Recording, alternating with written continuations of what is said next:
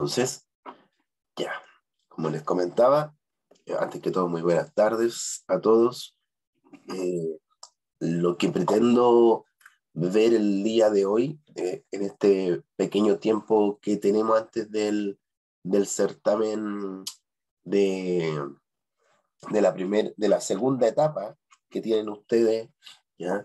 como certamen número uno, que va a ser 50% cada uno de las notas que ustedes obtengan.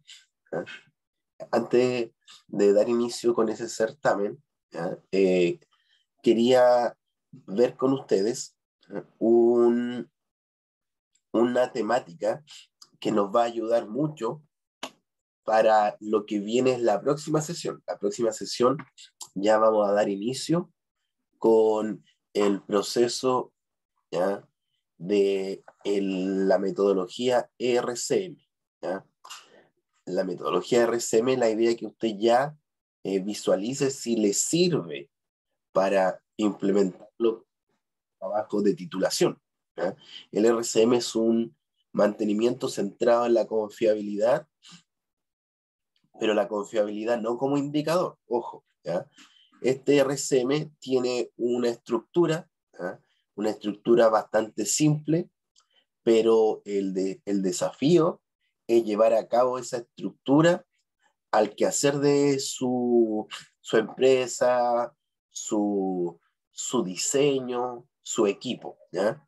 Y una vez que ustedes puedan contemplar eso, eh, la metodología es clarita, es clarita. Yo creo que vamos a tener dos sesiones de, de RCM, ¿ya? Entonces, en la primera sesión vamos a avanzar lo que vamos a llegar, me imagino, hasta los modos de fallo, un poquito más. La segunda sesión vamos a terminar el RCM con la hoja de decisión y además con la presentación de, del software Fractal, ¿ya? para que usted tenga una herramienta también eh, de informática para que pueda levantar planes de mantenimiento. ¿ya? Voy a hacer una especie de, de comparativo entre el SAP ¿ya? y el Fractal. El SAP mucho más potente, pero también mucho más caro. Eh, además que tiene muchos eh, módulos. Yo voy a hacer el comparativo solamente con un módulo, con el módulo de, de mantenimiento del SAP. ¿ya? En cambio, el Fractal es un software único eh, para mantenimiento. su foco es ese. Eh, pero no puedo llegar y subir información al fractal sin saber lo que voy a hacer. Entonces, por lo mismo, es que para poder subir a fractal información de planes de mantenimiento, eh, tengo que saber cómo hacer un plan de mantenimiento. Hay muchas, hay muchas metodologías de mantenimiento. El RCM es uno de estos, que dentro de, de, la, de los eh, contenidos de esta asignatura está el RCM. El próximo semestre ustedes también van a seguir con el RCM, ¿ya? Y ahí hay otros profesores que utilizan otra metodología. Yo utilizo la metodología clásica ¿ah? del RCM. Existen después de, de, de, esta RCM cuando se genera, ¿ya? cuando se, se crea el RCM, ¿ah? Eh, hoy en día existen otro, otra, no otras metodologías porque es la misma base, ¿ya? Pero hay otros procedimientos que ayudan al RCM. Usted puede buscar información del RCM, va a encontrar, por ejemplo, el RCM Plus, ¿ya? Eh, hay otros que RCM más, hay una infinidad de, de, empresas de asesoría, de, de cursos de capacitación que te venden el RCM de diferentes maneras. Pero uno de los temas importantes del RCM es el tiempo que me conlleva desarrollar esta metodología. Es bastante el tiempo que necesito y por ende yo no puedo pensar que voy a hacer el RCM para todos los equipos de mi empresa.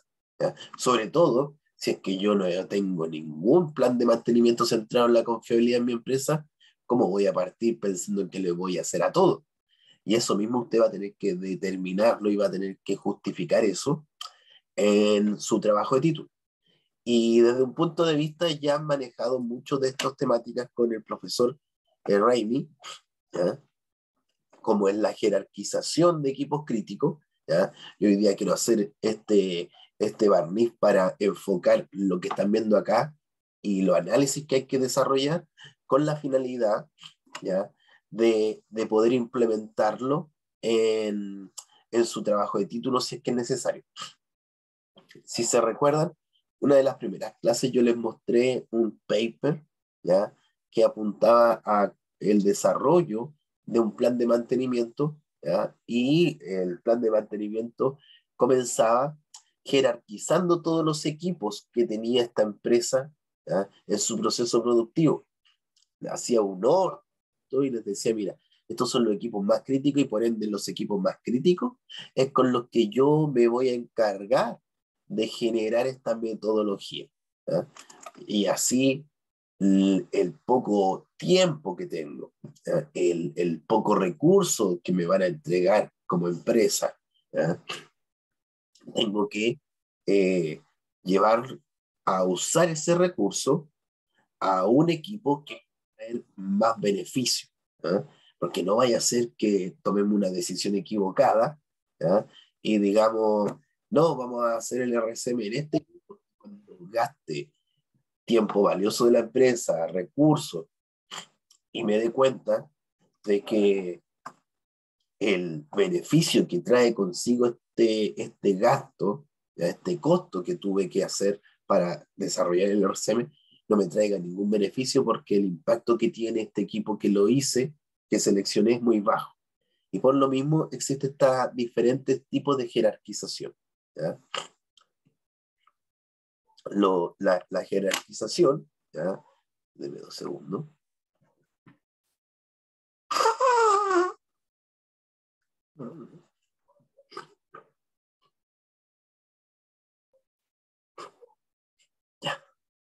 Ahora sí, la jerarquización de los equipos, hay que usar alguna estrategia en donde, como yo decida jerarquizarlo, de alguna manera esté enfocado con estos parámetros que yo les voy a dar a continuación.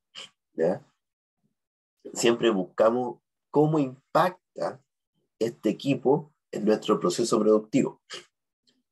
Pero no solamente de, de, de, la mirada de la empresa y, y este flujo de trabajo, esta cadena ¿ya? de producción, sino también enfocado qué va a pasar con la seguridad, qué pasa con el medio ambiente, cómo afectaría una falla de un equipo determinado al medio ambiente. Si es que falla este equipo, podría tener una, una, una condición de inseguridad tanto a los trabajadores, a la infraestructura. Eh, la detención de un equipo por una falla me, me genera cinco horas de detención o cinco minutos de detención. Eso también yo lo podría llevar para que sea un indicador que yo pueda eh, desarrollarlo con el fin de que me diga, mira, este equipo es menos crítico que este. Este equipo tiene muchas fallas, pero las fallas que tiene usted lo resuelve en cinco minutos. En cambio, este equipo tiene cinco fallas en el año, poquísimas, frente a la otra que eran 50, pero cuando falla son tres días de detención. Entonces, hay, hay temáticas que nosotros tenemos que ir evaluando, como por ejemplo la frecuencia de esta falla, el medio ambiente.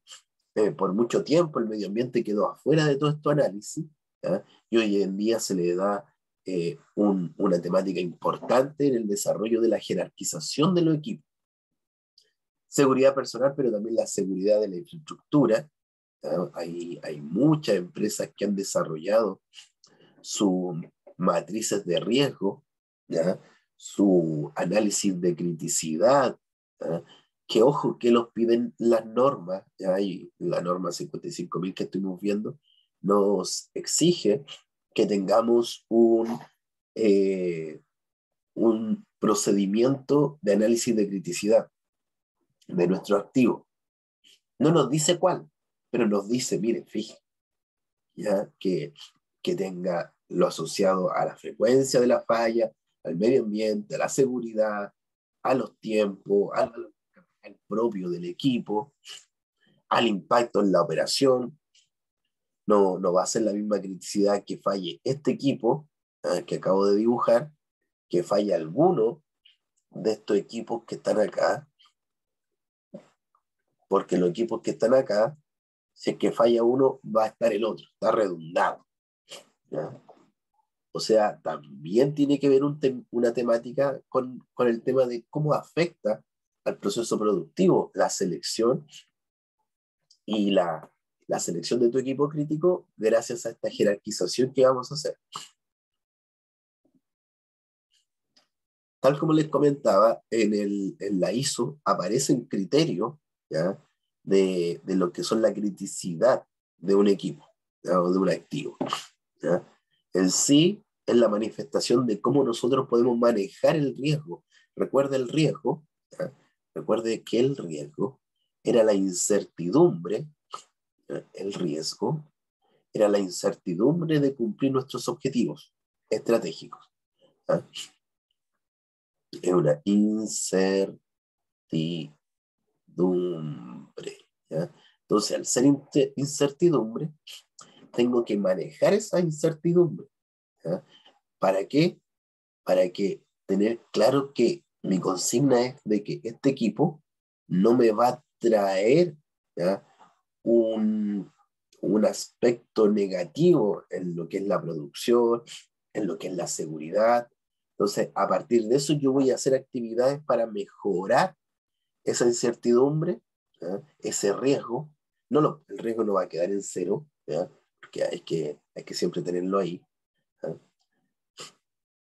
¿Qué más nos dice? Es el reconocimiento que poseen los activos y su importancia en el proceso productivo.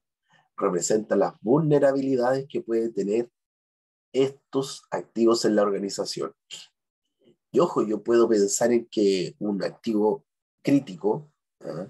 debido a que lo jerarquicé, me van a quedar los equipos más caros ¿ah? dentro del listado y los más baratos me van a quedar con poca criticidad y eso no es tan cierto porque el caso típico son estos sistemas de seguridad, estas válvulas de seguridad, que son elementos que son económicamente eh, baratos frente a los otros eh, componentes, pero el, el, que esté con falla esa válvula de seguridad podría conllevar a que esa caldera explote y me perjudica en una falla catastrófica, generando fallecidos, eh, problemas en la infraestructura, etc. La criticidad considera entre algunos aspectos los riesgos de falla ¿ah? o la falta del desempeño del activo.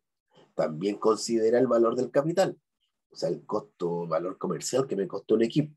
No va a ser, ojo, no va a ser el único eh, ítem que me va a ponderar en lo que voy a hacer, pero sí podría estar. A lo mejor una empresa dice, no, yo no lo quiero dejar, eh, voy a dejar de lado el valor del capital. No lo recomiendo, igual debería estar. La seguridad del personal, de la infraestructura, del medio ambiente, de la eficiencia. La eficiencia, si yo estoy dando una, una, temática de, de que este equipo está generando tantas toneladas por hora, tengo que mantener eso, entonces si me baja, veo cómo me afecta a mi, a mi contexto operacional total. La flexibilidad habla de qué tan rápido soluciono una falla de un equipo. La flexibilidad operacional es, el, de alguna manera, el MTTR. Cómo yo tengo la capacidad de lograr que mi MTTR sea más bajo. El tiempo medio de reparación, el MTTR.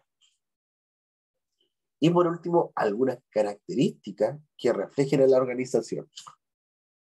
Si la organización tiene en sus valores ¿ah? alguna temática o en su visión, misión, algunas temáticas que son propias de esta organización, tenemos que agregar esas temáticas dentro de este, esta matriz que vamos a ir desarrollando. estos aspectos deben ser evaluados y ponderados para determinar la criticidad del activo y así poder jerarquizarlo. No existe una receta, muchacho, acá. Aquí, eh, dependiendo la, el sector productivo, dependiendo, eh, dependiendo eh, el tipo de empresa, el tamaño de la empresa, van a ser, las ponderaciones van a ser muy diferentes. Por ejemplo, para una eh, una empresa minera o aeroespacial o de la aeronáutica, eh, quizás cuando ellos asocian una falla, están hablando de que una falla son sobre lo normal, como promedio, sobre los 2 millones de pesos. Una falla de un componente de uno de estos equipos. En cambio, para una eh, manufacturera, para, una, para un taller metal mecánico, para una empresa más pequeña, eh, hablando de 2 millones de pesos es lo que le costó el equipo más caro de los que tienen. Eh, y, y, su promedio de costo por falla está bordea los 200 mil pesos. Entonces, no puedo pensar que esa matriz que vamos a trabajar para los equipos mineros va a ser la misma que para los equipos de una empresa de menor tamaño. Por ende, hay que ir revisando cada uno y por lo mismo, no hay un, un, un modelo único. ¿eh? Y, y, nadie ha dicho, mira, así se tiene que trabajar y estos son los rangos, no. Muchos activos tienen un bajo valor comercial y pertenecer de manera indirecta al proceso productivo, pero podría poseer un potencial para ocasionar un alto impacto en caso de una falla. Ahí está, por ejemplo, el caso de la válvula de alivio de seguridad, ¿eh? como se lo había comentado anteriormente. Entonces, para jerarquizar nuestros activos, ¿eh? Tengo que tener claro cuáles van a ser mis objetivos asociados a la gestión de mantenimiento, debido a que si tengo claro mis objetivos de gestión de mantenimiento, es que tengo claro mis objetivos de gestión de activo. Y lo más importante es que tengo claro mis objetivos de gestión de mantenimiento, yo ya sé cuáles podrían llegar a ser mis riesgos. Conociendo mis riesgos, yo voy a poder hacer este trabajo de jerarquización. Pero los riesgos no salen por sí solos. Recuerden que los riesgos eran la incertidumbre de cumplir los objetivos. Entonces, como yo ya tengo los objetivos, yo ya sé cómo podría afectar de alguna manera, ¿eh? algunos parámetros me podrían afectar estos objetivos y eso los voy transformando en los riesgos. ¿eh? Obviamente la empresa tiene que tener claro quiénes son los responsables de tal objetivo, desde, qué nivel, y de alguna manera con eso ir conociendo cuáles son sus estrategias de mantenimiento en la empresa, si es que están trabajando con una práctica más correctiva, preventiva, me va a ayudar de mucha manera, me va a ayudar de, de diferentes maneras ya para la jerarquización de equipos de nuestro activo físico.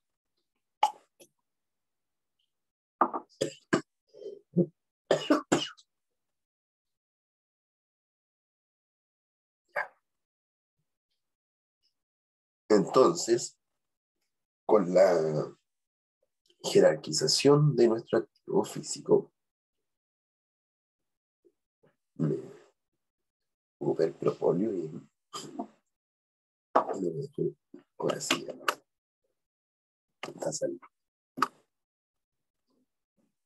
Entonces, veamos esta, esta PPT primero desde aquí. y me dice aplicación de metodologías de mantenimiento. ¿Ya? Aquí, muchachos, nosotros podemos albergar, por ejemplo, el RCM. Que como les dije delante, va a ser nuestro trabajo desde la semana que viene hasta el final del año, del semestre. Eso nos va a acompañar durante el semestre. ¿Ok? Esta aplicación de esta metodología va a traer consigo una propuesta de tareas de mantenimiento. El, el, mantenimiento centrado en la confiabilidad no deja de lado lo que el fabricante nos entregó. no, no nos dice, oye, que hay que partir de cero, no. Aquí nos va a dar eh, mejores eh, actividades de mantenimiento, tareas de mantenimiento, que estén más asociadas al contexto operacional de, nuestro, de nuestra empresa. Entonces el RCM va a partir desde aquí. Por ejemplo, un TPM, un TPM también va a partir desde aquí. Un mantenimiento basado en el riesgo también va a partir desde acá.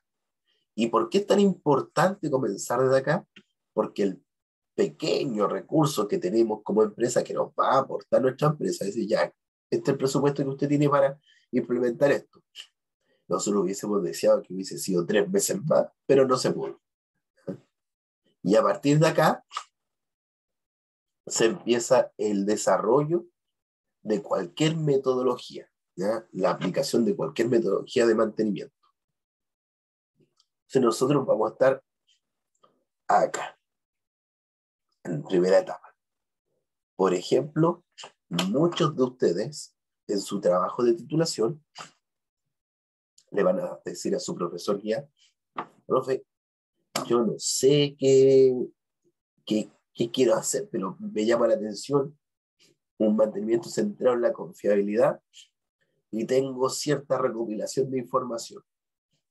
Tengo alguna información de, data, tengo eh, amigos que trabajan, tengo eh, el, manual del equipo, tengo eh, el SAP que puedo bajar la información, etc. Toda esa recopilación de la información no va a ser solamente de un activo, sino que va a ser de todos, ¿ya? de toda o la mayor cantidad de activos de su, proceso productivo. La mayor cantidad de activos. Mientras más, mucho mejor, porque si no se nos acaba ninguno. Teniendo eso, data, número de veces que ha fallado, ¿ya? La frecuencia. Profe, no tengo mucha, mucha de esta información, búsquela, eh, analice ahí con su viejito, hágale una encuesta, haga una auditoría, si es que no está en eso, en, esa, si no tiene esa información. Y por ejemplo, yo creo que acá, más el contexto operacional debería ser su capítulo 1. Yo creo que aquí está su capítulo 1. Si es que va a desarrollar un plan de mantenimiento independiente de la metodología, eso debería contar Su, su temática del capítulo 1 de su trabajo título. Luego que ya sé cuáles son mis activos, eh, voy a tener, por ejemplo, 30 activos diferentes. Se imagina que usted dijera, no, que voy a hacer el plan de mantenimiento a mis 30 activos, no termina nunca, y si no, haría unos trabajos, unas tareas de mantenimiento muy precarias y algo rapidito para cumplir con todo, porque usted tiene un semestre. Y, y aquí nosotros queremos que usted demuestre que aprendió a desarrollar una metodología. No quiero que aquí nos presente lo que está haciendo o lo que le pidió la empresa, porque a lo mejor la empresa a usted le pidió hacerse cargo de toda una línea y su plan de mantenimiento de toda una línea. Pero no, pues acá nosotros estamos viendo, mire, para, esta, para este trabajo usted me tiene que mostrar uno. Que sepa hacer uno significa que sabe hacer para cualquier otro más. ¿ah? Sabe hacer uno, sabe hacer cien.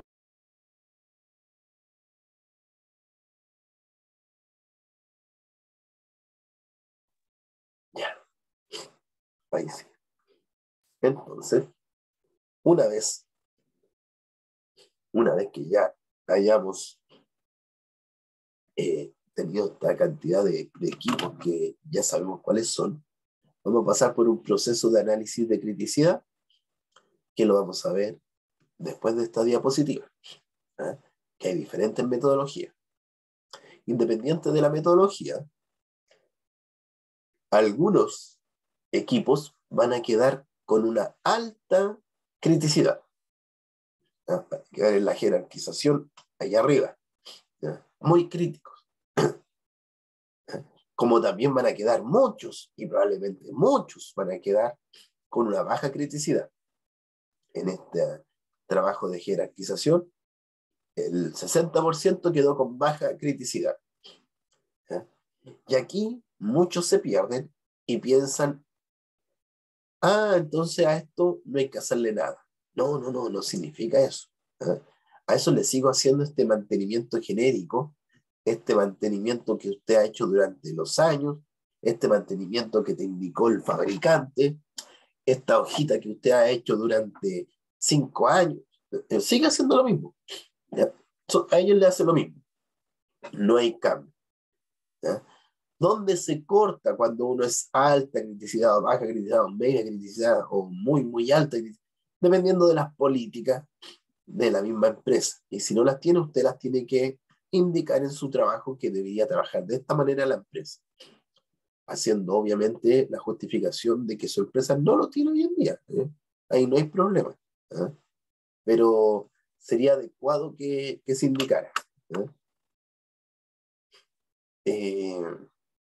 este, ahí está el link con, con el con el, el paper que les mostré hace un tiempo atrás, en donde yo les comentaba de este, de este trabajo de, de, evaluar la confiabilidad en equipos críticos de un sector industrial. Aquí está todo el procedimiento.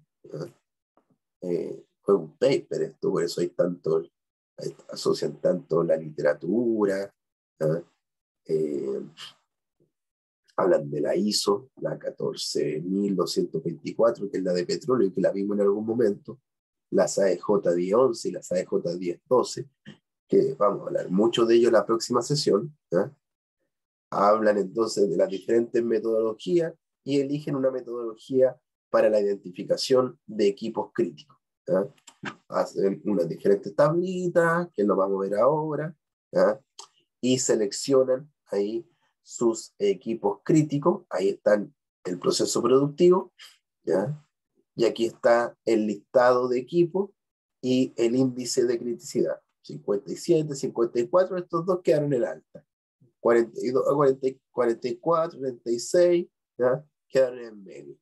Y los que están debajo de 30, ¿ya? quedan en baja.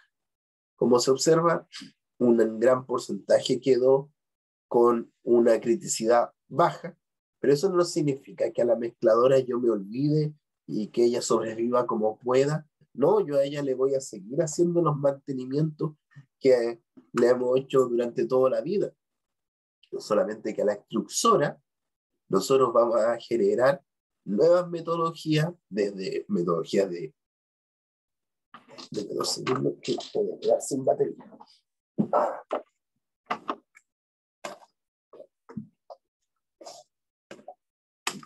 nuevas metodologías de, de mantenimiento, ¿ya? vamos a hacer seguimiento y control de los indicadores, vamos a llevar indicadores de disponibilidad, de confiabilidad de estos equipos. vamos a asumir entonces que este equipo es crítico, por ende tengo que hacer un seguimiento diario a esto. Vamos a calcular el OE de estos equipos. No de todo. ¿Por qué? Porque estoy recién partiendo. Caso distinto, fuera que un alumno diga, profe, ¿sabe qué? Mi trabajo de título, eh, tengo un problema porque ya han ido avanzando en mi empresa con los equipos críticos y ahora ellos van acá, ya en, los medios. Bueno, lo explica en el trabajo de título. Usted dice que se va a hacer cargo de la cortadora, porque dentro de los críticos, es el que está quedando. Eh, hay justificación, así que no se preocupe de eso. Ahora, si no tiene nada, no va, va a poder elegir con mayor facilidad. Eh, se hacen un catálogo de fallas. Eh, don Raúl. Hola, profe. Hola, Raúl. Buenas. Buenas. Eh, hacer una consulta con respecto a esto mismo, pensando en el examen de título. Eh, por ejemplo, si estoy haciendo el examen de título, yo lo quiero hacer obviamente en la empresa en la que yo trabajo hace bastante años, y el examen de, o sea, la jerarquización de criticidad, yo la, haría y en, base a eso diría que los equipos más críticos, más importantes son los camiones recolectores. De hecho, tenemos muchos modelos de camiones. Pero dentro de la empresa tenemos maquinaria auxiliar, eh, maquinaria de apoyo y están los camiones recolectores. Y eso para mí serían los más críticos, si yo hiciera una jerarquización. Pero dentro del camión mismo eh, se subdivide en muchos equipos también, pues ¿cómo lo, lo hace? No? Ya. El camión también se puede dividir en sistema y camión, por decirlo de una manera. En sistema recolector y en el camión. Y a, a, su vez también se pueden eh, hacer un diagnóstico por cada parte del equipo. ¿O, ya es mucho eso? No, no es mucho. Eh, y, y, es más, se hace. Ahí va, va, a ir dependiendo tu profesor guía. Ya, va a depender. El profesor guía dice, oye, ¿sabes qué? Yo creo que aquí te está faltando más está ahí muy pobre, eh, debería hacerte cargo de todo el equipo y, y no de, de, ese, de ese tan, tan menor. ¿ya? Claro, sí. Y además, claro lo que usted está hablando. Es sí, sí, sí, entiendo. Del 2015 que yo guié, ¿ya? que hizo un plan de mantenimiento centrado en la confiabilidad a tractores sobre orugas, o los que le llaman los patos que están al lado de, de las palas mecánicas limpiando. Este, el Patricio y sacó un 95 en, su nota final. Eh, aquí está el, justo me, me hablaba y tú me acordé de este, de este trabajo, así que por eso lo, lo fui a buscar por mientras que usted me hablaba. Esos son, esos son los que están ahí abajo. Entonces nadie se preocupa de eso. Todo hacer mantenimiento de estos grandes equipos y va quedando en el pasado este. Ahí, ahí está el pato como ah, ¿ya? Eh, y empieza a, a, buscar más información, me dice, mira, mira ¿ya? este tractor se lleva el 43%, entonces, eh, si lo necesitamos y si este equipo está ahí, ¿por qué no preocuparnos de un equipo que está dentro de... Entonces aquí lo hicimos mediante una metodología que se llama el diagrama Jackknife, que también lo vamos a ver hoy día. ¿ya? Eh, y, y, conmigo van a ver más el análisis con el, el profe Raimi, van a hacer ejercicio para desarrollar estos gráficos ustedes. Y hoy día les voy a mostrar los gráficos y cómo tiene que ser la interpretación, y después ustedes lo van a, hacer con él. Entonces, por ejemplo, acá, todos estos puntitos, ¿ya? Son equipos, son los diferentes equipos, como me dijo usted, profe, sabe que yo tengo varios equipos, Sé que el camión es más complicado, pero si el camión no es más complicado, a lo mejor tú tenías una sala de compresores y ese que te está dando más, eh, eso lo va a decir esto. ¿ya? Una vez que él lo llevó de esta manera y se dio cuenta que en este sector, en este sector, que se llama el sector agudo crónico, este es el sector de el cuadrante 3, por decirlo de alguna manera, si lo llevamos al ámbito matemático, esta es la zona de control. Zona de control. ¿eh? En este eje nosotros tenemos número de fallas Y en el eje Y tenemos el MTTR, el tiempo promedio de reparación. ¿ya? Y este muchacho que está acá es el que nos trae más número de fallas. Eh, no, disculpa, nos trae tantos números de fallas como MTTR alto. Entonces aquí lo que se hace, se trazan unas líneas que se llaman de ISO indisponibilidad. y aquí queda claro que el equipo que trae más problemas es este tractor. Estas curvas de disponibilidad yo se las voy a enseñar. Sí, profe, lo que pasa es que, por ejemplo, si esto hubiera sido un camión recolector, ese equipo, entonces un, tipo de mantención... Dame, dos tiempos, dame dos tiempos antes de eso, para terminar la idea. Entonces, ahí vemos que este equipo es el que queda con mayor criticidad. Ahora, el Patricio tuvo el mismo problema tuyo que decía, profe, ¿sabe que es muy grande este equipo? Eh, hacer un, un, trabajo así, hagamos una segunda derivada. Y él hizo la segunda derivada, ahora asociado a los componentes o a los subsistemas o sistemas que tenía este equipo. Ahí está. Y aquí está nuevamente. Y él, en su trabajo, se hizo cargo de dos cosas. En este caso del motor y de la estructura. Y a partir de eso, él genera todo el proceso ¿ya? De, del RC. ¿ya? Y termina generando nuevas fichas de mantenimiento ¿ya? asociado a esto. Esto es lo que vamos a ver nosotros y lo que vamos a tratar de que ustedes puedan... Mira, sí, esa ajuste a mi pregunta. Él terminó generando nuevos... nuevos, lo que sí, yo no quiero hacer un plan de mantenimiento, quiero hacer algo más relacionado a la confiabilidad con respecto al, a las capacitaciones. Mira, aquí, aquí él finalmente no, no, lo que entregó, dijo, mira, después de mi análisis, donde yo veo la problemática, era que muchas veces tu equipo cuando se iban a, a terreno otra vez a trabajar, volvían al, al día después con falla y específicamente en, en, los motores y se, dieron cuenta, y se dio cuenta por el tema del el anticongelante, la temperatura que alcanzaban los refrigerantes del motor, y era porque aquí se llenaba de tanta basura.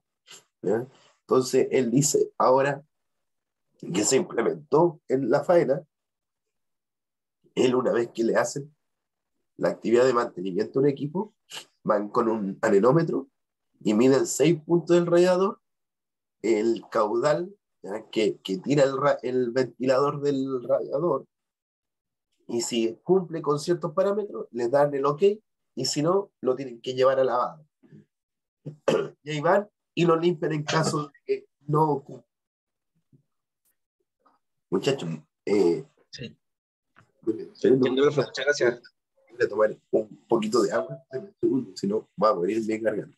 Deme dos segundos. gracias, yo entendí, yo quedé claro. Entonces, muchachos, como le comenté, este, este RSM se hace a los equipos que obviamente traen mayor beneficio. Normalmente los que traen mayor beneficio son los que están impactando de forma más negativa hoy en día en la empresa. Entonces, mire cómo aumentó ¿ya?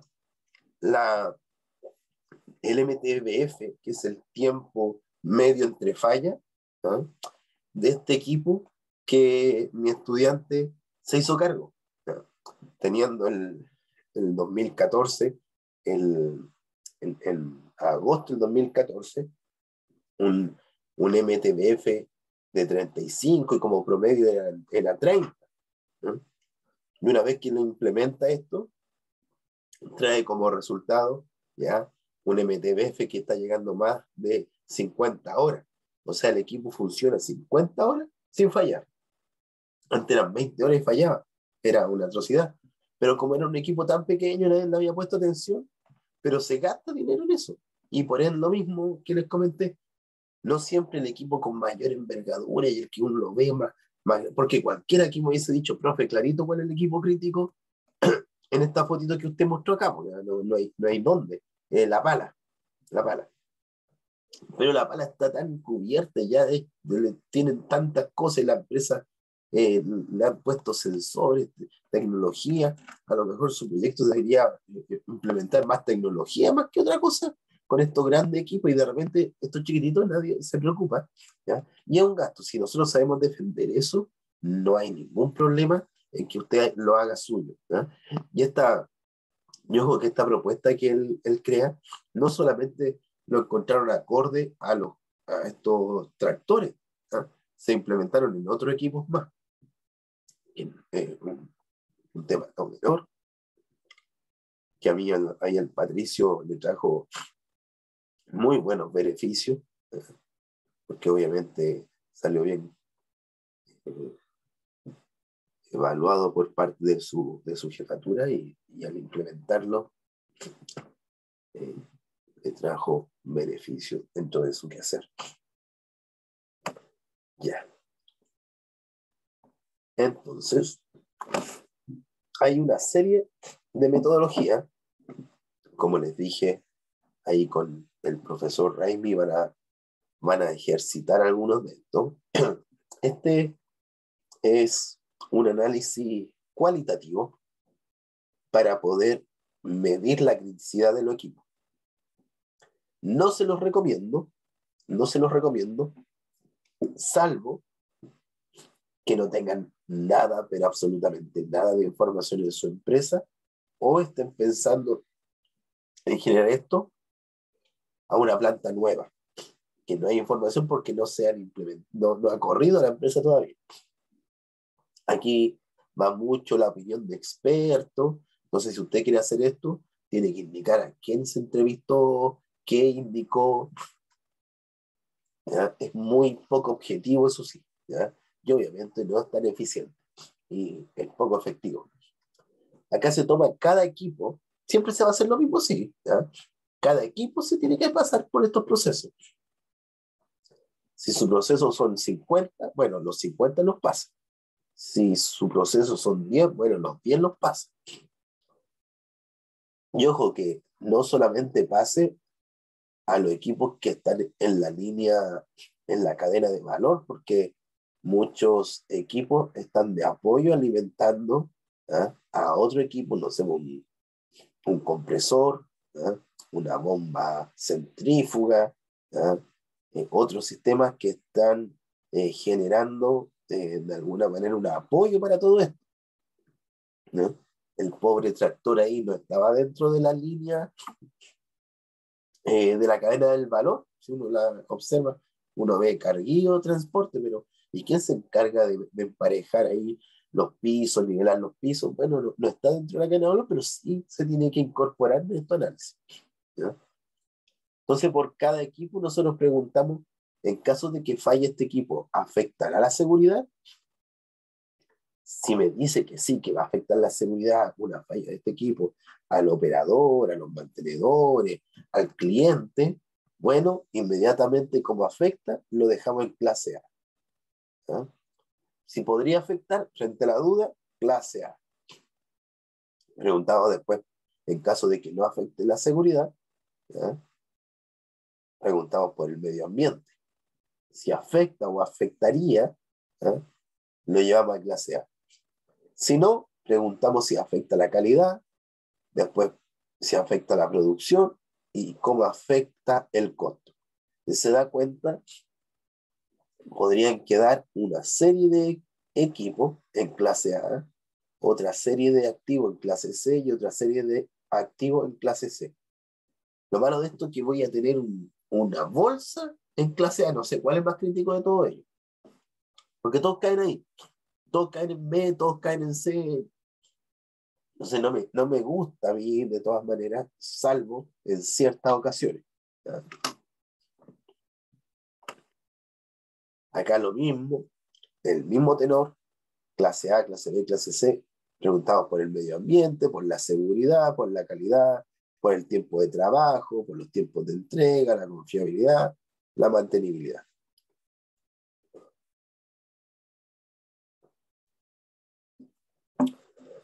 Si desarrollamos este trabajo, a los equipos que queden en clase C, se les dice que ellos tienen que mantener lo que están haciendo. Se llama sostener lo que se está haciendo.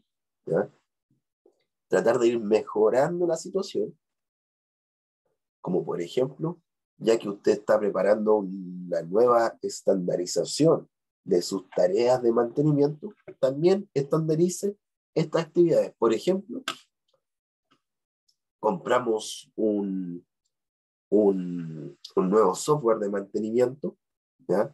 No llevemos solamente los equipos en AI, si, le estamos pagando a un viejito, usted le dice, oye, súbeme todos los, planes de mantenimiento del nuevo software. Y por lo mismo se van a ir con él los equipos que quedaron en categoría C, estandarizar los equipos que quedaron en B, sobre todo los que quedaron en A. Pero eso es una mejora que no me va a incluir más tiempo que un digitalizador que me va a estar pasando lo que me entregó el fabricante o lo que usted hizo hace un tiempo, no sé, A, a, esto, a este ERP. ERP ¿ya? ¿Qué hice aquí? Ya, gracias. También, si tengo mi, equipo C, que hemos dicho mantener, si sé que hay un equipo que está en clase C o una baja criticidad, pero tiene fallas ¿ya? repetitivas, apliquemos ahí un, un, un eh, RCA. Voy a detener el, el video la cámara porque me estaba como congelando. Entonces aquí podemos desarrollar un análisis causa raíz. Aplicamos un procedimiento de análisis causa raíz en caso de que tenga equipo en clase C, en clase B, ¿ya? hasta en clase A, a todos les voy a hacer un análisis causa raíz, ¿ya? frente a las fallas más repetitivas. ¿Eh? Es más, a los que están en clase A, me dice no solamente las fallas repetitivas, me dice desarrollemos un análisis de los puntos débiles que, débiles que puede tener su equipo, aunque no hayan sido fallas repetitivas, igual aplique un análisis causa-raíz a estos puntos débiles que tiene su equipo. Y hay diferentes metodologías de análisis causa-raíz, árboles de falla, cinco por qué, Ichikawa, las lluvias de ideas, eh, el PRO, hay, hay varias metodologías que se utilizan, que probablemente usted lo va a ver en una, en la próxima asignatura, Creo que en confiabilidad 2 deberían verlo, si mal no recuerdo. A los que quedaron en equipo en, el, en clase B, dice, mejoremos los planes de mantenimiento, analicemos el historial de fallo, analicemos la eficacia de las tareas que estamos desarrollando y una revisión continua del plan de mantenimiento. Además, lo mismo que se hizo acá.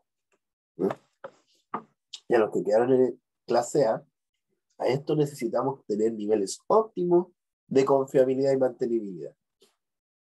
Acá me dice, mira, esto de acá genera una identificación de su modo de fallo, el FMK.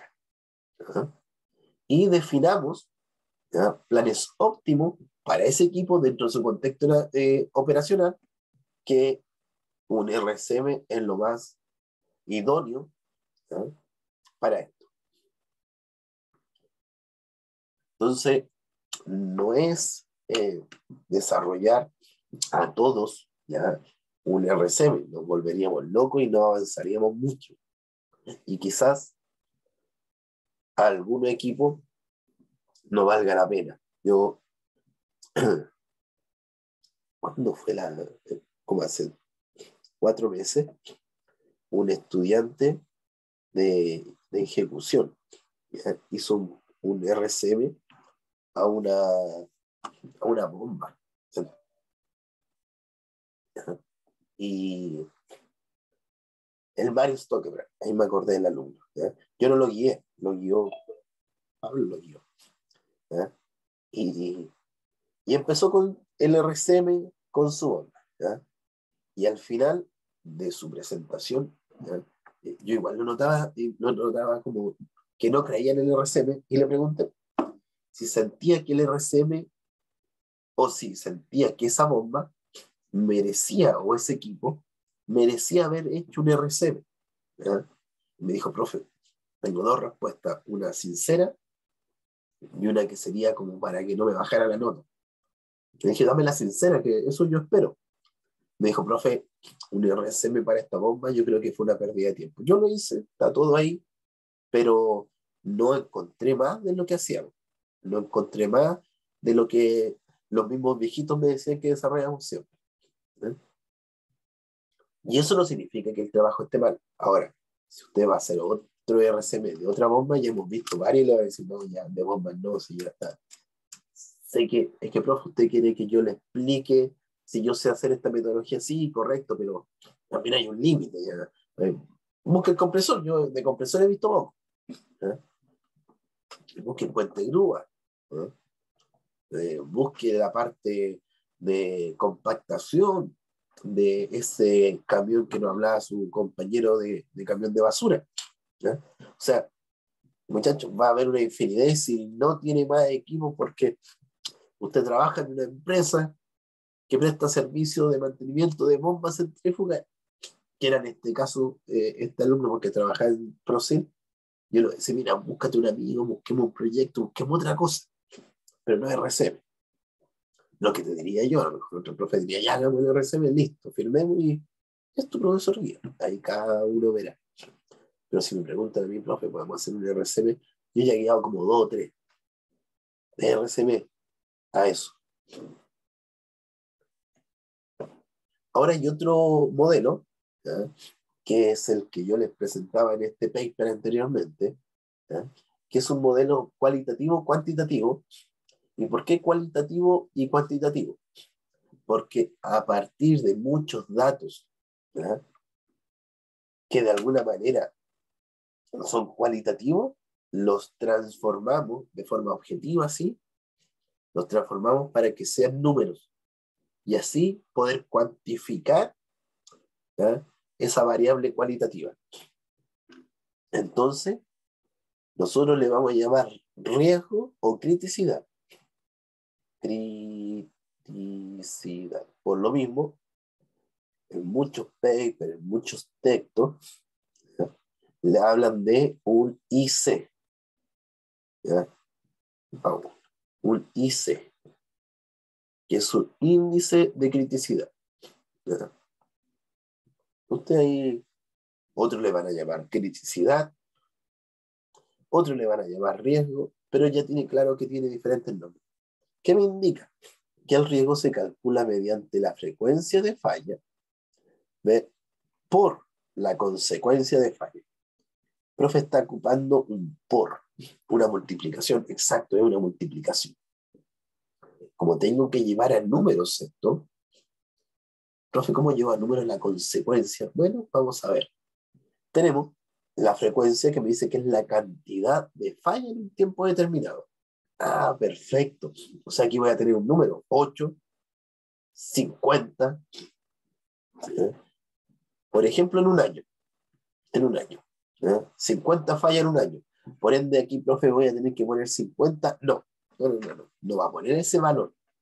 Va a ser usted una matriz en donde va a dar criterio y rango.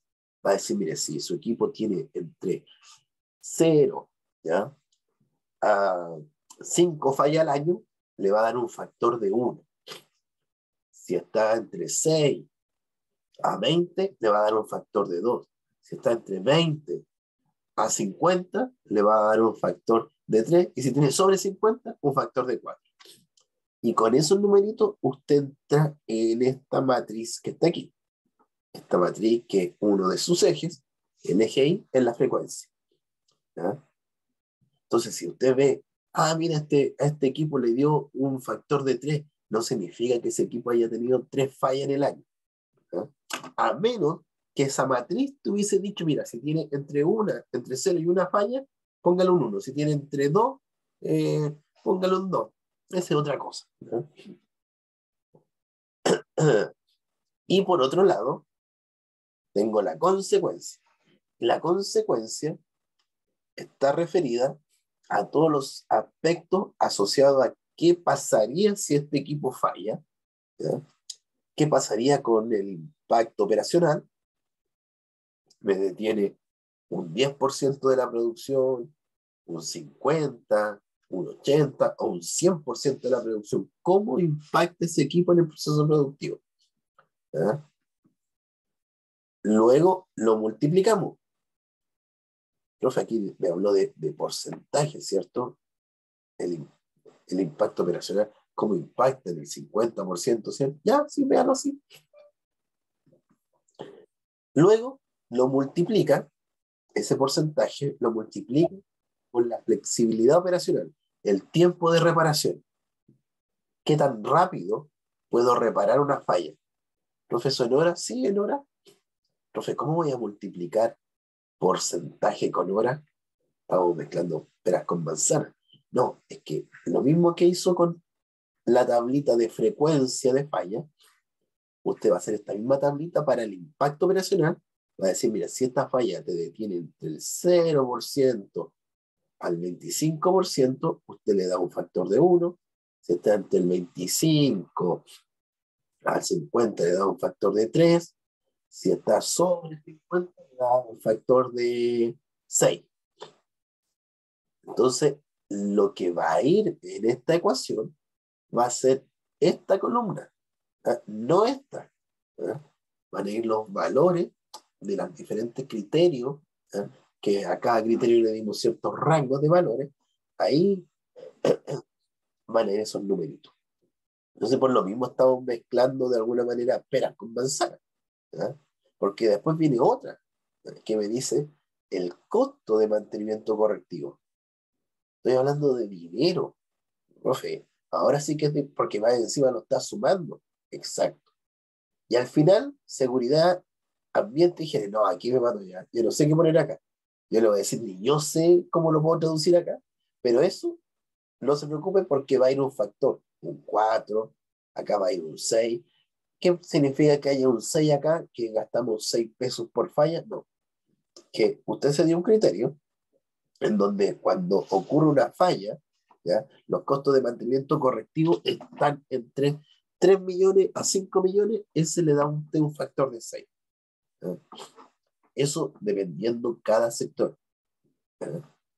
Independiente de eso, nosotros tenemos que hacer este, estos numeritos y la necesidad de poner estos numeritos máximo que de tal forma me den 50 como máximo. O si no, hago otra matriz y la extiendo, pero no vaya a ser que yo utilice esta matriz. Por ejemplo, voy a utilizar la matriz que va desde 0 a 50. Y usted aquí en el impacto operacional. Eh, indicó, por ejemplo, que el máximo podía ser 10. Y el máximo en la flexibilidad operacional va a ser 5. Mire, yo tengo que multiplicar 10 como máximo por 5, ya tengo 50 y todavía me falta ese y ese. Y aquí usé 50. No, eso me va a decir, oye, es un error garra. Yo he realizado trabajos de título así, y yo los tiro para afuera. no, no, no me puede presentar esto. Lo mínimo es que desarrolle bien este trabajo. Y ahí se tienen que dar otra vez para las correcciones. Así que cuidado ahí. Y un trabajo de título ¿ya? de, no sé, de un plan de mantenimiento central en la confiabilidad no tiene tantos números, no se vaya a equivocar acá. Frente a los pocos números que hay, se va a equivocar en ese número muy poco ingenieril sería. También hay otros números, la parte, eh, la parte económica también tiene que ir. Acá oh, eh, hice, cometí un error.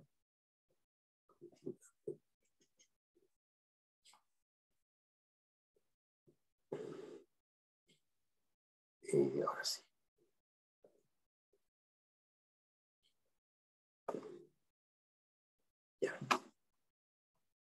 Entonces, aquí les dejo la, explicación de cada una de esas variables, frecuencia de falla, impacto operacional, es el porcentaje o capacidad de producción que se afecta cuando ocurre una falla, flexibilidad operacional, es el tiempo de reparación de la falla, eh, actividades logísticas y de ejecución de la reparación. Costo de mantenimiento. Estos son los costos de mantenimiento por falla correctiva. Recuerde eso. Eh, y ojo, no solamente el costo que me, que me llevó reparar la falla, sino también el costo que me conllevó que ese equipo hubiese estado detenido. Se le llama la destrucción del negocio impacto en la seguridad, higiene y ambiente, en la posibilidad de ocurrencia de eventos no deseados con daño a personas, instalaciones y o daños al ambiente. El análisis cualitativo y se requiere la opinión de expertos que conozcan los riesgos asociados. Por ejemplo, a alguien le tocaría levantar la criticidad de una planta minera. ¿eh? Y dice, mire, desde el camión, la perforadora, la pala mecánica no lo voy a tocar. Va a ser la parte de planta. Entonces empieza desde el chancador primario, el romperroca, la serie de cintas transportadoras, los diferentes tipos de arneros, los chancadores secundarios, eh, un, un stockpile, posteriormente el silo de acopio que va a alimentar a los tambores de aglomerado, tenemos bombas, tenemos agitadores, eh, tenemos la rotopala por acá que va sacando el material estéril y lo va llevando a botadero, eh, una infinidad también de, de intercambiadores de calor, aspersores, ¿eh? más bombas, válvulas, más agitadores, eh, intercambiadores de calor, acá las bombas finales, eh, lo, electrowinning, la nave electrowinning probablemente un, un, ah, un puente grúa, el despegador de cátodo, etc. O sea, hay una infinidad de activo dentro de este proceso que eh, calefactores, compresores, que los voy a tener que jerarquizar. ¿ah? Antes de jerarquizarlo, yo tengo que hacer esta matriz porque una vez que tenga esta matriz, yo hago pasar a todos los equipos por esta pregunta. Por ejemplo, el equipo, eh, el tambor de aglomerado. ¿Cuál es la frecuencia de falla? profe, no sé, pero lo vi y le salió un 3. Ah, entonces de 3 falla al año, ah, ah, no. Ese equipo tiene entre 20 y 35 fallas al año. Y por lo mismo le dan un factor de 3. Siempre tenga ese cuidado. No, José, esta PPT todavía no la subo, la, voy a subir hoy día, mientras empiece el certamen, le subo esta PPT al, al aula. Gracias por recordarlo, se me había olvidado. Eh, tenemos el impacto operacional. Como les dije, no genera ningún efecto en la operación, uno. Ojo que aquí alguien me, puede haber dicho, profe, ponga un cero mejor. No, es que si pongo un cero, usted se, se, acuerda de la ecuación que había, entonces al poner un cero, eh, este, este cero me afectaría la, la flexibilidad operacional y no importaría la flexibilidad operacional. Por ende, no es bueno utilizar un cero en esto. Mejor no se acostumbre a usar cero en esta parte, porque cuando veamos el número de prioridad de riesgo, el RPN, que es para dar criticidad a los modos de fallo, ahí también si ponen un cero, le, rompe todo el, contexto hacia atrás. Entonces, un 1. Si una, un equipo que estoy analizando, que habíamos dicho el tambor de aglomerado de este ciclo, de este proceso, disculpe, cuando este, eran dos tambores de aglomerado, si falla el tambor de aglomerado, me disminuye la producción un 50%, porque hay dos, el otro mantiene el proceso. O sea, le damos un valor de 6. La flexibilidad operacional, la reparación, el tiempo de reparar. Si me sale 4 acá, no significa que me demoro 4 horas, significa que me demoro más de 12 horas de reparación. ¿ya? Los costos de mantenimiento, entre rango. Si es menor de 3 millones, un 1. Si es de 3 a 8 millones, 2. Si es mayor de 8 millones, 3. Y el impacto en la seguridad, ambiente e higiene. También le damos valor. Con el cuidado de que no en, la, en, esta, en estos cálculos la consecuencia nos vaya a sobrepasar a un valor dentro de esta matriz que uno puede crear, esta matriz que estaba acá. Ojo, que esta no es la única matriz. Si, si recuerda bien, ellos también tenían una matriz que era esta, con frecuencia de 1 a 4, y miren la consecuencia, la consecuencia no llega hasta 50, llega hasta 20. De que después la multiplica y el máximo puede ser 80, pero ahí eh, no tiene por qué todas ser iguales. Así que ojo ahí.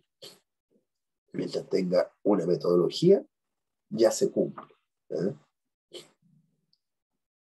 Eh, y que obviamente estén dentro de, de parámetros no vaya a ser de que usted me diga, eh, profe, yo aquí en el impacto de seguridad le di uno o dos. Digo, ¿y, ¿y tú leíste las políticas de la empresa? No. Mira, lee las políticas, la visión y la misión, y la visión y la misión hablan de que quieren ser una empresa sin accidente. Entonces, esta empresa que no quiere tener accidentes de 2022 a 2025, ¿ya? por política, por misión, por visión que ha impuesto, tú no le puedes dar un factor tan bajo. Esta ponderación de la seguridad debería ser más alta en caso de que usted haya hecho el análisis correspondiente con respecto a lo que está haciendo la empresa. Si no, entregaría un trabajo totalmente desviado y vamos a tomar de que usted inventó nomás esto frente a ningún análisis. ¿ya? Usted tiene que hacer ese análisis previo. Lea ahí cuáles son los objetivos de la empresa, ¿ya? las temáticas de, de, políticas de, de, seguridad, de costo. Eso le va a ayudar mucho para determinar esto. Y por ejemplo, aquí nos dan eh, tres equipos, ¿ya? tres equipos que están sobre 100. ¿ya? Y en este caso, si estaba entre menor a 30, ¿ya? iba a ser criticidad baja. Si iba a estar entre 100 a 40, iba a ser criticidad media. Si estaba sobre, eh, sobre 100, no, no, sobre 80, sobre 80, sobre 80 iba a ser criticidad alta. Por ejemplo, aquí hay tres equipos. La despegadora de cátodo, puente grúa, no, sí, puente grúa y rotomala. Entonces aquí, ojo, que a lo mejor uno podría pensar, no, la despegadora de cátodo, profesor, y, y me tengo que hacer cargo de eso, sí o sí. No necesariamente, como les dije, eh, a lo mejor usted se va a hacer cargo de esta, porque ya han hecho estos trabajos acá, agua arriba. O también, a lo mejor alguien me puede decir, profe, ¿sabe qué? La despegadora de cátodo está a dos años de darla de baja. En está el proyecto de la nueva compra de la despegadora de cátodo, en lo que me demore yo en un semestre en terminar mi, mi trabajo de título. en que se ponga en práctica lo que yo voy a, eh, yo voy a proponer, va a haber un año de, y probablemente ni me van a pescar. No vale la pena entonces. Entonces a lo mejor podría quedar la rotopala, la el puente grúa, etc. Pero ella tiene una estrategia, una metodología para selección. Por ejemplo, puede quedar la, la rotopala sin la necesidad de que haya quedado de los primeros, pero un equipo crítico igual. Y ojo, no significa que a la cinta transportadora, al armero secundario, no olvidemos de ello y chao. No, no, no, no. Seguimos desarrollando un mantenimiento genérico. Idealmente, cuando usted tome el equipo, desarrolle lo que me preguntaba adelante eh, Raúl. Ah, por eso le decía Raúl, ojo, yo aquí no te voy a pedir que hagas el RCM, por ejemplo, a la rotopala completa si, si Raúl encuentra que su camión es grande y tiene hartas cosas, imagínense que alguien diga, ya, profe, voy a hacer la rotopala. Aquí hay parte eléctrica, parte mecánica, sistema, una, una sala de máquinas. hay mucho, mucho que hacer acá. No terminaríamos nunca. Entonces, lo mejor ahí es empezar a eh, ir desarrollando un diagrama funcional de su equipo y dividiendo, mira, aquí tengo la unidad motriz, el sistema pivotante, el sistema de izaje, la unidad de transportadora. Profe, yo me quiero encargar de la unidad de transportadora. ¿Por qué? No, porque eh, siempre me han gustado. No, lleve nuevamente esto, lo puede llevar a un diagrama ya nadie esta parte y dice, mira, encontré que esta era el que más tenía eh, preponderancia en las fallas, por ende, aquí me voy a hacer cargo de la unidad de transportadores, de todo esto. En la pluma carga, en el chupete de traspaso y en la pluma de descarga. voy a hacer cargo de todo ello. No, profe, yo me voy a hacer cargo de, de la rueda de capacho. La rueda de capacho. Eh, va a ir dependiendo, insisto, qué va a ir haciendo con su profesor guía. Una vez que usted tenga esto, dice ya, ahora me voy a buscar las funciones. Pero eso lo voy a dejar para la próxima semana cuando veamos el RC. Otro, otro proceso de, metodología de, criticidad es el número de prioridad de riesgo. Esta metodología permite jerarquizar modos de fallo en función de su impacto global. Hoy, oh, oh, oh, muchachos, vamos a seguir tranquilamente. Ya. Eh, eh, número de prioridad de riesgo. Esta metodología permite jerarquizar modos de fallo en función de su impacto global, con el fin de facilitar la toma de decisiones. Entonces, cuando se van a acordar de mí, en, muchos años más se van a acordar de mí, pero la próxima semana les voy a decir, ¿se recuerda cuando les dije que usted se va a acordar de mí? Es porque el RCM me entrega una serie ¿ya? de diferentes tipos de modos de fallo. Nosotros buscamos los modos de fallo. Los modos de fallo tienen otro nombre también. En algunas se les llama las fallas, las fallas potenciales. Potenciales. esas fallas que están ahí latentes, esperando aparecer en algún momento. Como por ejemplo la fractura de un rodamiento, eh, un filtro obstruido, una rotura de una manguera. Esos son modos de fallo. Son la, eh, es lo que ocasionó la falla. Así de sencillo. Entonces, pensemos en lo que nos comentaba Raúl. vamos a tener una serie de diferentes modos de fallo, modos de fallo que se han activado en más de alguna ocasión, por ende Raúl tiene alguna historia y dice, ah, estas son.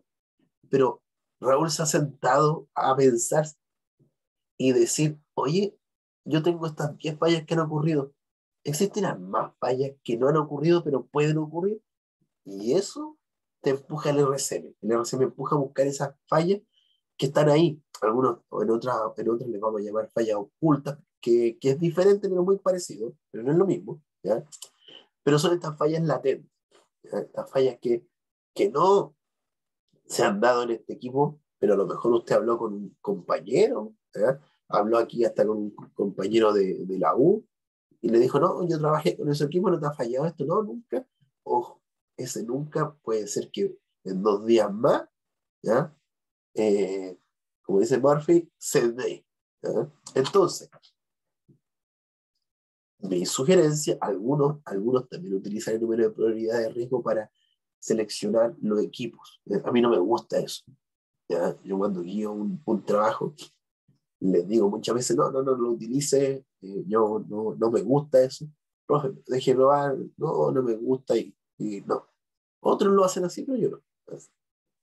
Entonces, yo dejo el número de prioridad de riesgo para la jerarquización de modo de fallo, en donde nos preocupamos de tres grandes variables. La primera, la S, que la severidad. ¿eh? ¿Qué tan severo es un modo de fallo? La O de ocurrencia, la posibilidad de que ocurra esta falla frente a otras, este modo de fallo, disculpe, siempre asociado al modo de fallo, y la capacidad que tenemos de detectar ese modo de fallo. Profe, eso no lo entiendo. Mire, si usted tiene un, un neumático que le está ocasionando una falla, probablemente el operador del equipo ha sentido esa vibración que está normal de, la rueda porque tiene un desbalanceo, está desbalanceado. Se siente eso. Entonces es detectable. No de tan, tan, tan fácilmente, pero sí se puede detectar. Profe, si voy manejando y se rompe una bañera hidráulica, eh, antes que choque a lo mejor no me voy a haberlo detectado. Pero hay otros sistemas que se han dedicado a poner sensores ¿ya? para detectar esas fallas. O esos modos de falla. Entonces, este trabajo que se hace acá con el RPN también se utiliza mucho para ir mejorando es, el performance de su equipo. Si una detección, por ejemplo, 8, es súper alta, significa que tengo mucha inseguridad de que pueda detectar esa falla. ¿ya? Si me da un 2 en la severidad, significa que cuando falla no me genera mucho impacto en la empresa, en el proceso, en la seguridad medioambiental, en la seguridad de los trabajadores, es todo que aquí se maneja con todo. Esto viene de una norma, de la norma SAE J1739, ¿ya? Y esta norma te entrega esta clasificación. ¿ya? De dice, mira, tú tomas cada, cada modo de fallo y pregunta, ¿cómo afectaría este modo de fallo en la severidad? Y te da criterio con un factor. ¿ya? Los efectos de peligroso sin advertencia y abajo ningún efecto. Ocurrió la falla, ¿ya? ocurrió este modo de fallo y no afectó nada. ¿ya? Ocurrió, lo voy a arreglar Quizás no hoy día, quizás mañana, pero no me afectó nada. Puede pasar. En, alguno, en alguna empresa puede que eso no afecte a nadie y en otras te digan, no, aquí con esto, no sé, una, una crucecita de la cabina. Eh, si lo llevamos a donde trabaja Raúl, probablemente esa lucecita en la cabina se la van a arreglar al viejito en unos dos meses más o en un mes más. Pero si esto lo llevamos a un camión de alto tonelaje, en donde el viejito dice, no, no, aquí yo sin eso eh, no está ahí se le da, obviamente, una urgencia mayor. Por ende, no, no en toda la empresa va a ser lo mismo una falla. No voy a tener la misma jerarquización, los modos de falla, ¿ya? En las diferentes empresas. Va a haber diferencia. Eso por el lado de la criticidad. Ahí está la norma que le hablaba, ya la SAEJ 1739.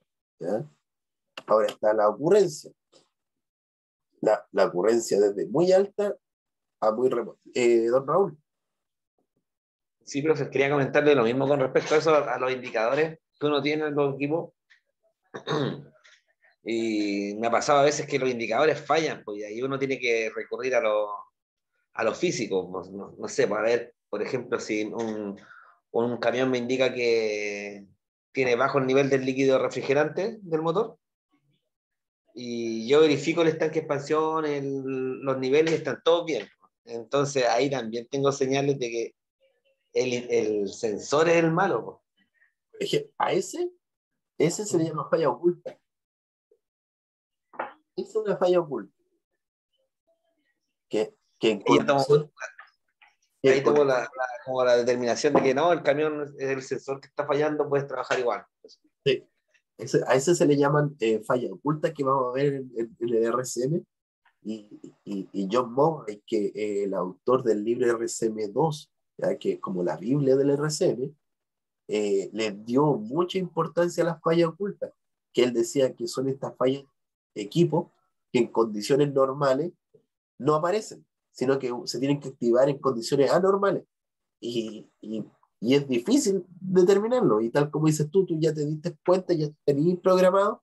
Ahora no sé si eso está escrito, esto está dentro de un plan, porque es probable que un día usted se cambie de pega y su organización va a quedar sin esa, ese conocimiento y la organización no puede permitir eso.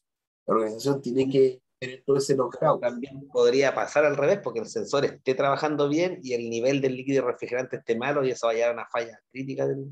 Totalmente, totalmente.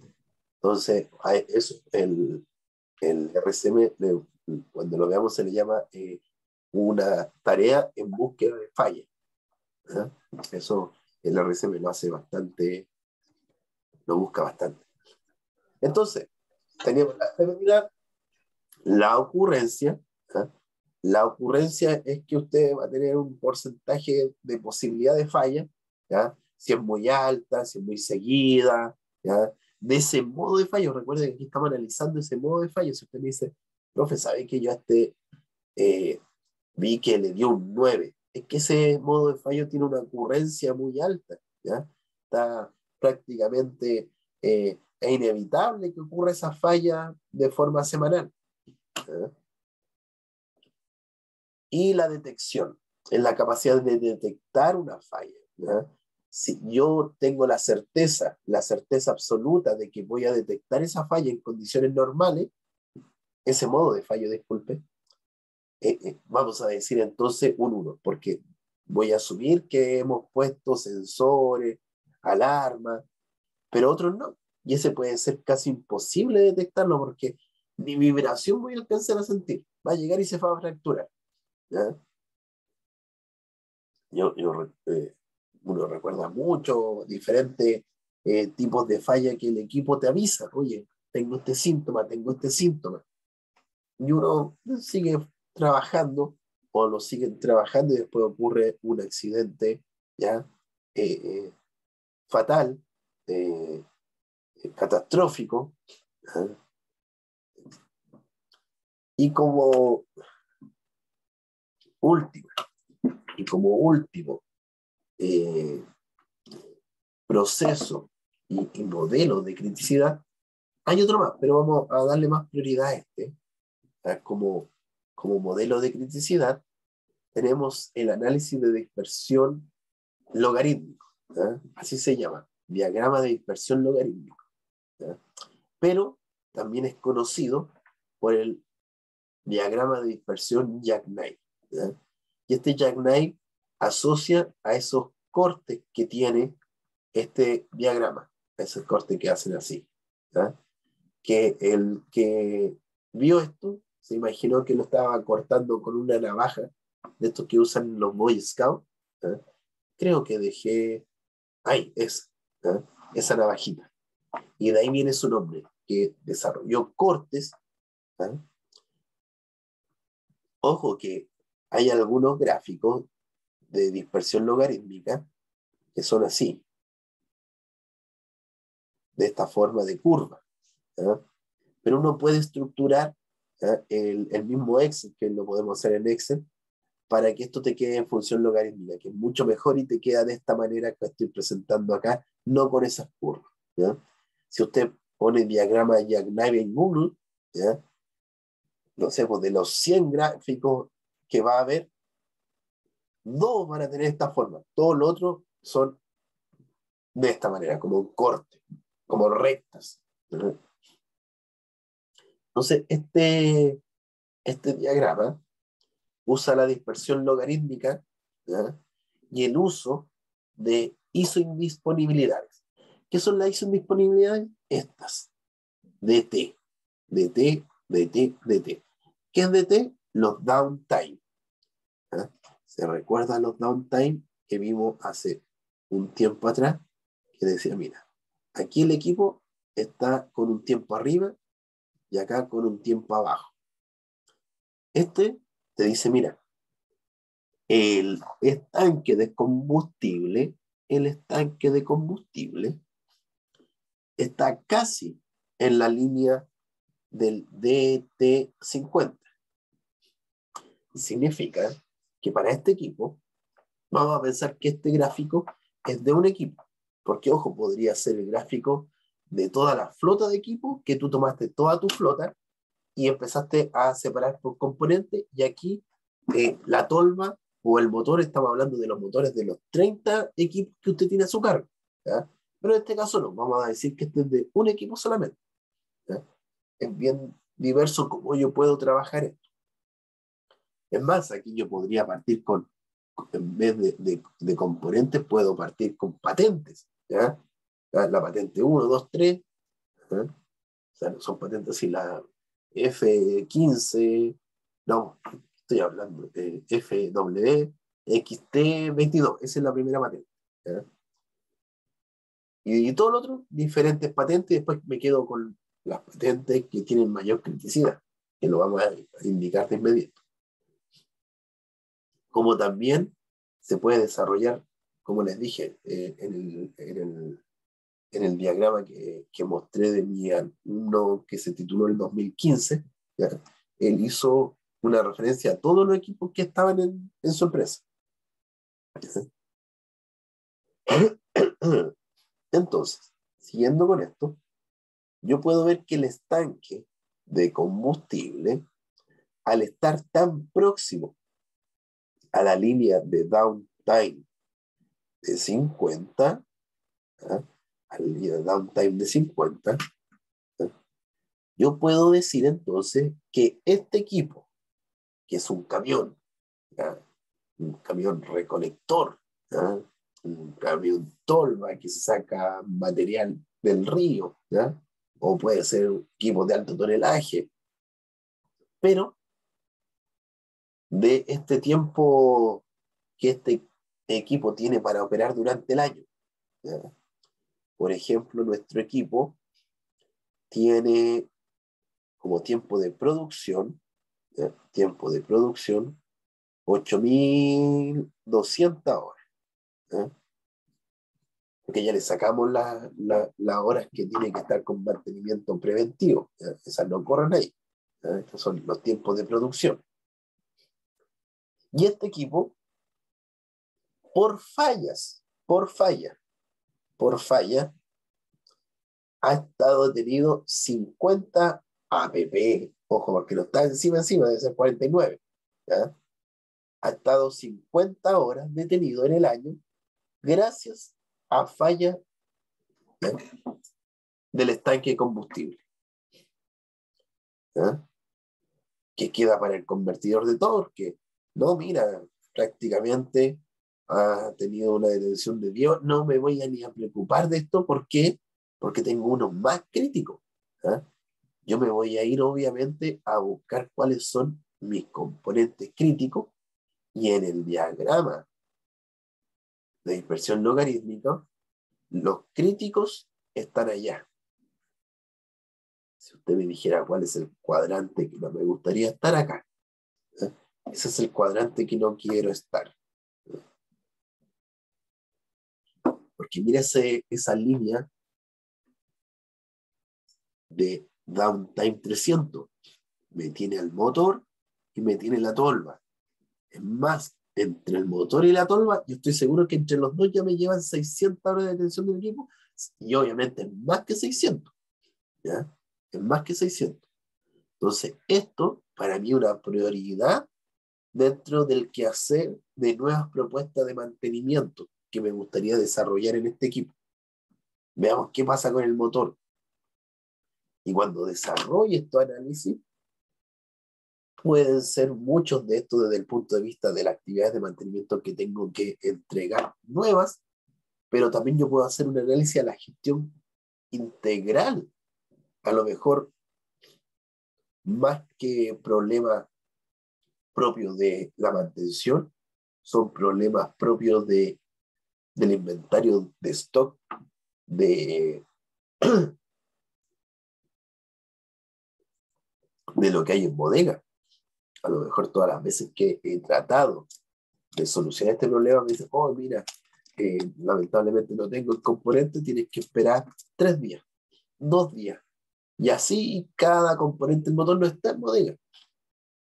Porque es mala gestión. Entonces, después vamos a volver a analizar esto. Son herramientas para clasificar los activos o componentes de los activos según su impacto en la indisponibilidad.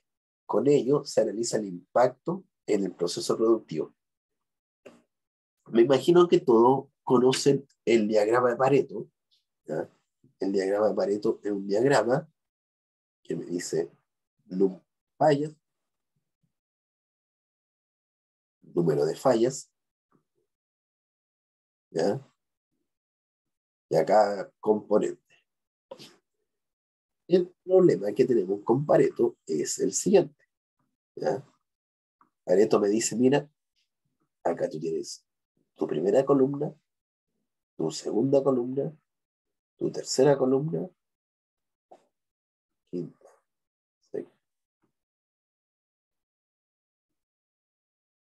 Y a la última ni se ven tan chiquitas que son.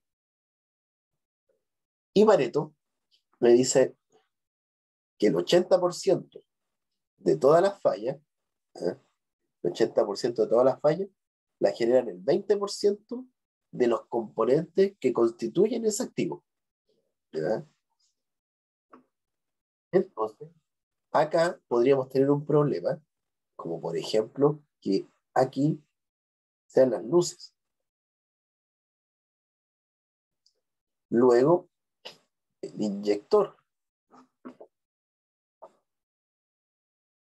Y mire, Pareto me va a decir, mire, usted encárguese de esta sobre todo, de este 20% que le lleva el 80% de todas las fallas.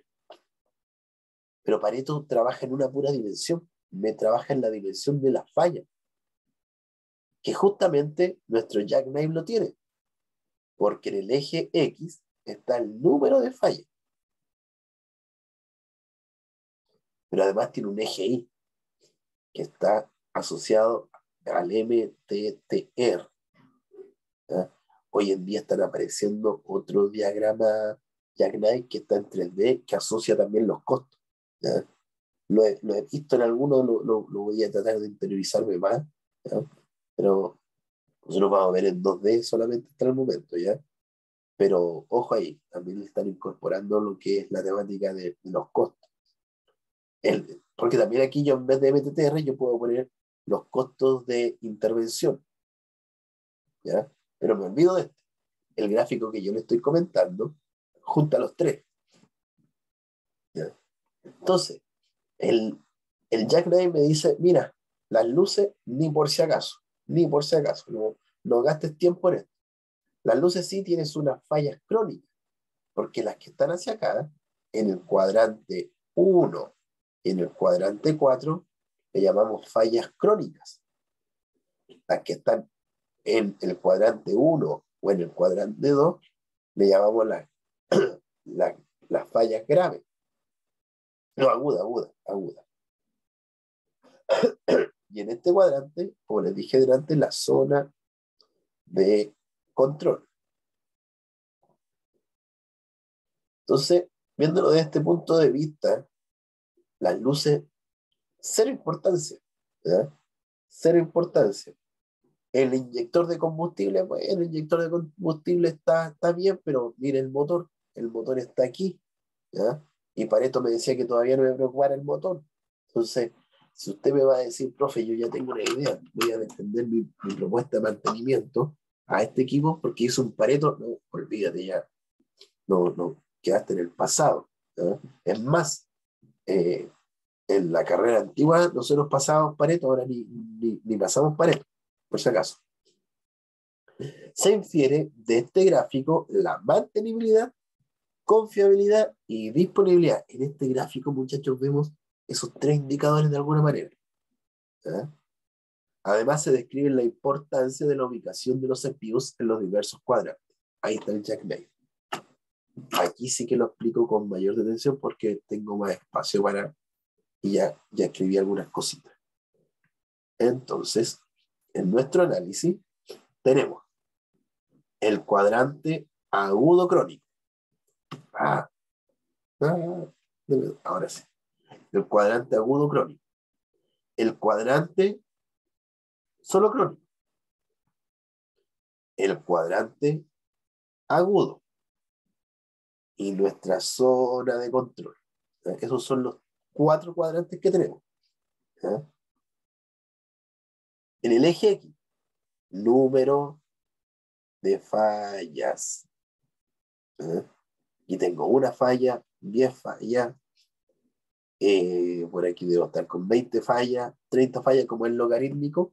Cada vez que eh, voy avanzando, se acortan más lo, el espacio para avanzar. Puedo tener aquí a 50 fallas. ¿Qué más tenemos? El MTTR es el tiempo promedio de reparación. El tiempo promedio de reparación de las luces es de menos de una hora, es de 0,8 horas. Aquí más, más se demoran en llenar los papeles de seguridad que en reparar esas luces. Por acá estamos en 8, 8 horas en esta línea. O sea, el turbo, el, BMH, el BHMS, la transmisión, el sistema de enfriamiento, la batería alrededor me generan más de 8 horas de reparación. ¿Para qué decir la tolva y el motor? Estas me llevan más de 8 horas de reparación. Saben, quisiera poner más numeritos, ponga más numeritos, pero no va mucho el análisis por lo que me dice acá, sino que me dice el análisis asociado a esta recta. Por ende, se le da tanta importancia a esa eh, DT, los downtime. ¿ya? downtime de 50, de 100, por ende todos los que están dentro de, este, esta franja, me generan entre 50 a 100 horas de detención gracias al freno de servicio y al inyector de combustible. Nuestro equipo estuvo entre 50 y 100 horas detenido. Gracias al turbo y al VHMS, el equipo estuvo detenido entre 100 y 200 horas, y hacia acá, y hacia acá. Las curvas, o disculpe, las rectas, esta ISO indisponibilidad, ¿ya? De alguna manera me están diciendo, mira, esto lo que tu equipo ha estado indisponible. Por ende, lo contrario es lo que ha estado disponible. Por ende, me habla de que este gráfico nos habla de lo que es la disponibilidad. Pero también me habla de la mantenibilidad. La mantenibilidad es la, la probabilidad de reparar una falla. Entonces, si yo tengo esta mantenibilidad más abajo, significa que he ido mejorando mis procesos de mantención. Si esta empieza a subir de un año a otro, es que estoy ya eh, desarrollando un mal mantenimiento porque me estoy demorando mucho en reparar. Muchachos, esta intersección que se da acá es el promedio tanto del número de fallas como del MTTR. ¿eh? Este, este cruce, de ahí lo obtenemos. ¿eh? Lo obtenemos a partir de esa, de esa intersección de los promedios. Ahí es la intersección de los promedios. ahí el Rainy va a explicarle cómo se hace este gráfico en el Excel. Pero en sí, ese es el promedio tanto del número de fallas como el promedio del MTTR. Entonces, muchachos, si yo tuviese un gráfico así, significaría que mi, que mi eh, cantidad de fallas o número de fallas ha ido disminuyendo. Por ende, al ir disminuyendo, significa que he ido mejorando mi gestión de mantenimiento, porque ahora los equipos están durando más tiempo sin fallar. ¿eh? ¿Por qué? Porque tengo menos fallas. Ahora, si de un año a otro esto se me quedó acá, o sea, estoy haciendo todo mal. ¿eh? Y esto es lo que normalmente una empresa va desarrollando año a año, va manteniendo. Eh, estos, estos datos y va, trabajando con esto para ver cómo se van moviendo sus gráficos con el fin de ver si lo que están desarrollando eh, lo están desarrollando bien o mal. No vaya a ser ya de que se implementó un nuevo plan de mantenimiento y nos ha llevado un registro de que lo que se implementó es bueno o es malo, y a lo mejor estamos fallando y está siendo más perjudicial todo esto. Por ende, se tiene que llevar un control. Una vez que usted implementa, eh, como les dije, aquí está el, el, el proceso de un ejemplo, aquí están los datos, necesito número de falla, necesito tiempo de parada al año o el MTR, uno de los dos me va a servir. Luego genero estas tablas para ir identificando los diferentes downtime, y eso se los va a ir explicando el profesor, pero van a ser estas, estas tablas. Y eso lo van a llevar después al gráfico. Como les dije, vamos a tener un gráfico que lo van a ver de esta forma, con curvas. Ahí están las luces. ¿Se puede trabajar así? Sí, pero no es lo correcto. No, no, no lo he visto que en, grandes empresas muestren un gráfico ya ahí con curvas.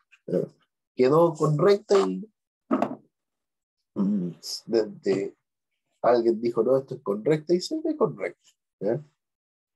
¿Cómo se hace el cambio? Se va a un eje, al eje Y, al eje X, tiene que ir a los dos en todo caso. Y el Excel te da la opción de cambiar la escala. Y abajito dice escala logarítmica. Ahí lo pincha y esa escala logarítmica queda de esta manera, tal como lo hemos ido presentando. Y ahí usted tiene el gráfico ¿ya? del, del jackknife.